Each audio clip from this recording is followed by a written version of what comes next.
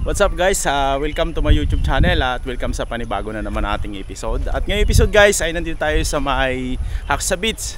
So dahil summer na ngayon, papakita ko sa inyo yung Haksa Beach kung mayroon ng mga taong namamasyal dito.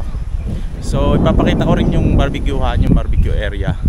So samahan nyo ako guys, sana tapusin nyo tong aking video. At kung bago ka lang dito sa aking YouTube channel, ah, maraming maraming salamat sa pagbisita mo dito sa aking YouTube channel.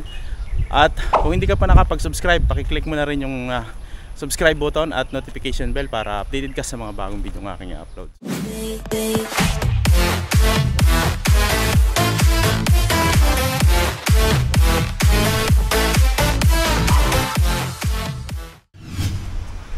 Dito tayo guys sa Haksa Beach. Maraming tao dito ngayon kasi summer na dito sa Macau. So ayun yung mga naliligo.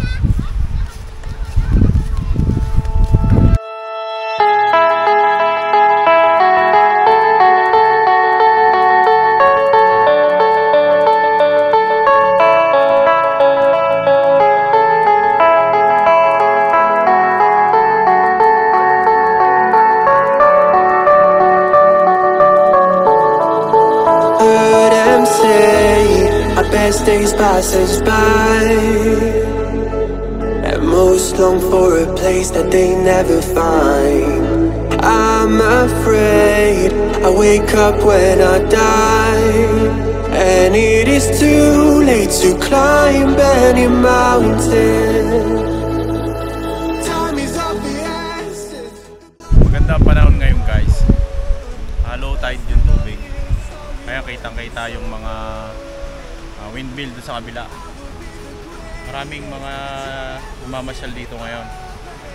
Kaya kung makita ninyo, daming tao. May mga nagkakayak dito.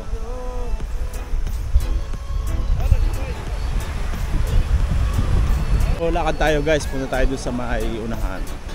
Papakita ko sa inyo yung malapit doon sa may barbecuehan.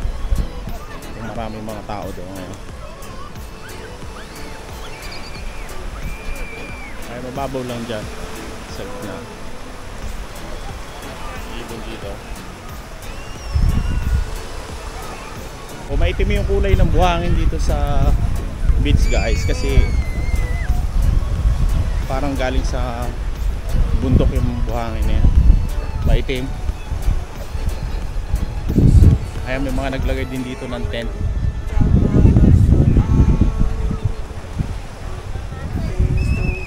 Dami mga bata.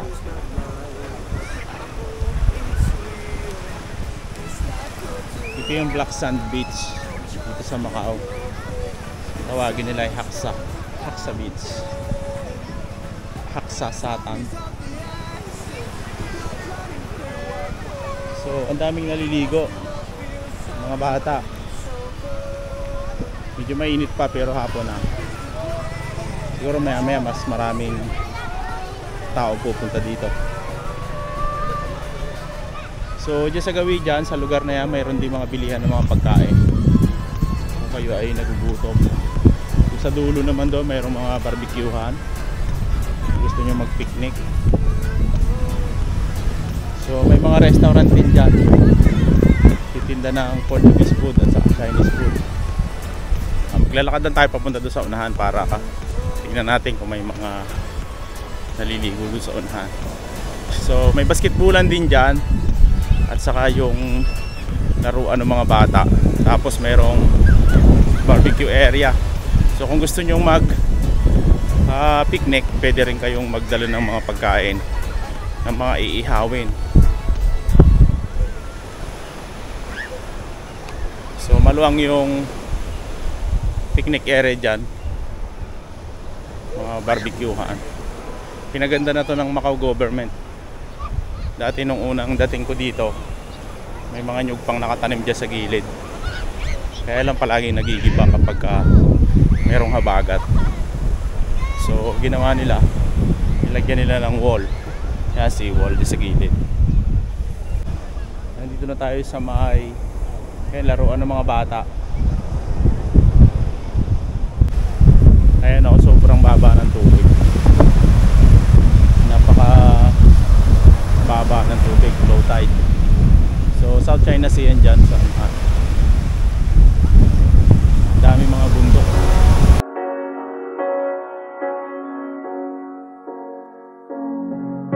The seasons come and go like thoughts of you. Like a wave returns to the sea into the blue. They change, but in a cycle that I can't lose. Each painful but delightful to live through. You came into my life just like another season. Not for long, just a time, just like another season. Maybe Ito yung basketballan dito guys. Maraming ginaganap na event dito. Lalo na yung mga kababayan natin na nagpapaano ng basketball, papalega. So, diyan naman sa kabila, sa unahan na to yung barbecue area. Pakita ko sa inyo yung barbecuehan. So, marami nagba-barbecue ngayon. Lalo na kapag ka linggo, mas maraming nagba-barbecue dito. Yung mga kababayan natin na day off. So, nagba-barbecue sila dito. Ayan. Ito yung barbecue area. Maluwang ito. Hanggang doon sa likod meron. Ayan, ang dami nagba-barbecue ngayon. Chinese karamihan ngayon. Pero kapag ka linggo, mga Pilipino marami dyan. Ito naman yung area guys na pwede kayo magtayo ng tent kapag ka gusto nyo mag-overnight. Pero may bayad sa lugar na to. Hindi ko lang alam kung magkano yung price yung ngayon. Pero dati 50 per night. Magre-rent kayo ng lugar dito, space. Tapos pwede kayo mag-set ng inyong mga camping tent. Ganito siya sa loob.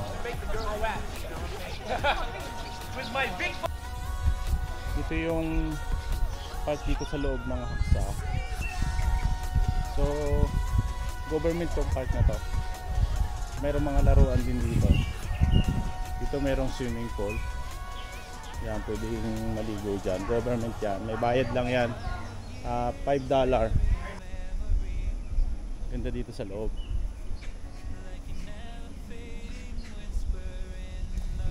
So, ngayon lang ako nakapasok dito sa loob na to.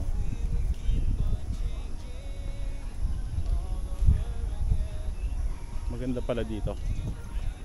So ayun guys, natapusin ko na dito yung aking video at maraming maraming salamat sa pagsama nyo sa akin ngayong episode. At ah, kung hindi ka pa nakakapag-subscribe, ah, please ah, subscribe at pindutin mo na rin yung notification bell para updated ka sa mga bagong video yung aking i-upload.